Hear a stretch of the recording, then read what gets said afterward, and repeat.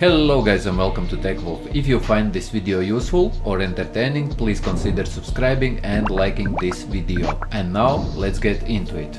In this video I'm going to show you how to resolve this error. Whenever you are in OBS Studio clicking start recording you are receiving this error. The installed NVIDIA driver does not support and so on and so forth like here update drivers.